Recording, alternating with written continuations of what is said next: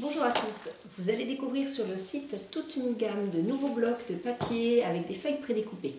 Alors ce n'est pas pour réaliser du vrai 3D comme on a l'habitude de le faire avec des motifs qui sont de plus en plus petits. Là ce sont des motifs qui sont tous différents mais qu'on va positionner soit selon un modèle, on retrouve tous les modèles au dos de ce qu'on peut réaliser avec ce bloc, soit au gré de sa fantaisie. L'intérêt de ce bloc c'est qu'on peut l'utiliser pour plein de choses différentes. Donc on voit celui-ci c'est sur le thème des fleurs, tout est fleuri. La plupart peuvent être réalisés du, sur du format 10 par 15 en carterie, mais certains sur des formats beaucoup plus grands. Alors, voici déjà un exemple de réalisation.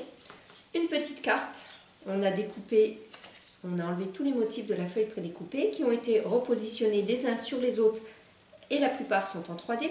Et puis sur une page, on a toujours les motifs et on a toujours le modèle à suivre ou pas selon son inspiration. Donc pensez à récupérer ce modèle.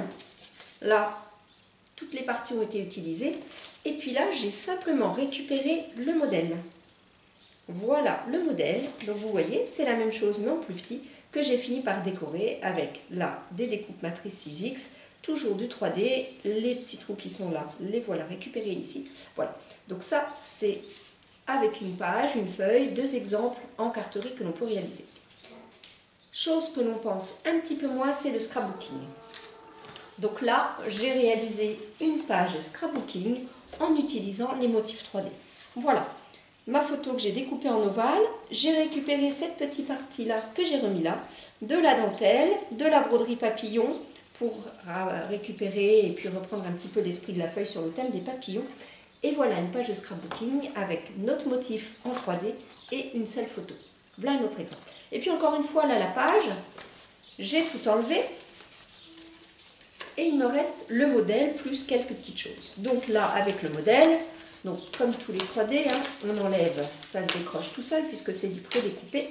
Au préalable, avec des chutes de papier, j'ai fait deux petites bordures que j'ai superposées avec une perforatrice bordure. Je vais coller ça. Hop.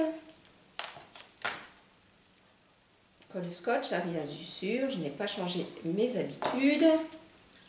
Je vais venir le coller en haut.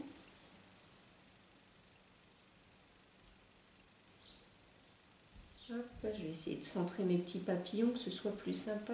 Voilà, ça c'est pas mal.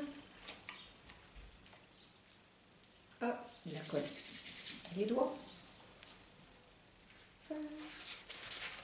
On va bien mettre ça. Je vais venir coller ma petite feuille récupérée.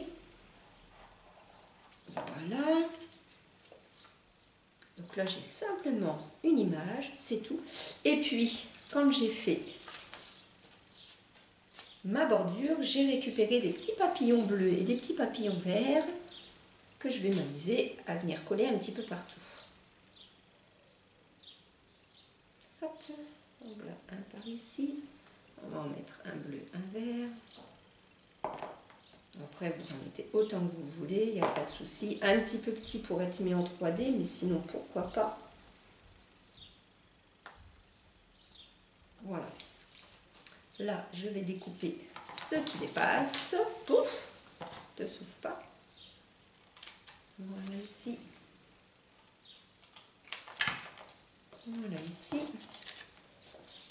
Le reste à la poubelle. Et voilà, une petite carte réalisée simplement avec le modèle qui nous est donné. Voilà, un bloc de papier avec deux, là on a 12 modèles de feuilles prédécoupées sur le thème des fleurs. Voilà, on a pu déjà réaliser avec deux pages, trois cartes et une page de scrapbooking. A bientôt